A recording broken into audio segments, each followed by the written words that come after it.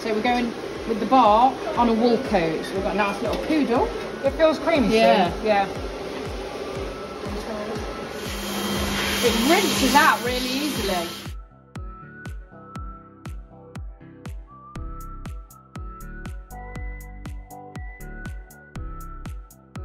Brushing out, some people don't brush out, some people go straight in the bath.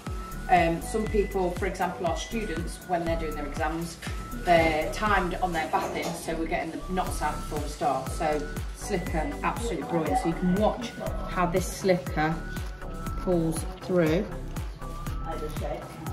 on our lovely little Dorothy here.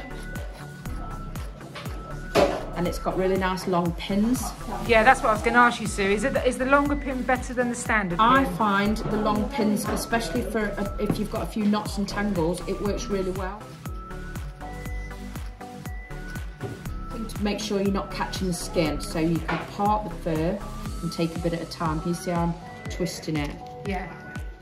So you're not scraping it on the skin and scratching, causing slicker burn. But these are really gentle as well, so you don't want to be doing that. But that was me digging in. And truthfully, you, you look at the uh, slicker pin for its softness because it's to do with the cushioning on the uh, cushion on the back of the pin. Yeah. Yeah, yeah, and it's also just making sure it's right for this coat. So, for example, if you've got a short cocker spaniel, you wouldn't be slickering the short hair. You, I won't slicker her here. You're helping us out, Dora, aren't you? I won't slicker here because it's not long enough. So it's just really your furnishings